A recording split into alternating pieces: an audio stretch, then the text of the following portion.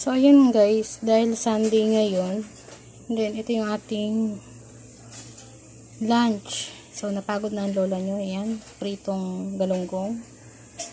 Ah, ginisang yung pansit lang. Pansit gisado lang. And then, adobong pusit. And then, yung ating tinigang.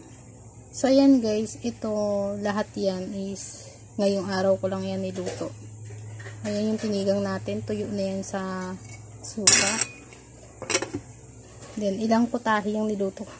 Isa, dalawa, tatlo, apat. So, ayun guys.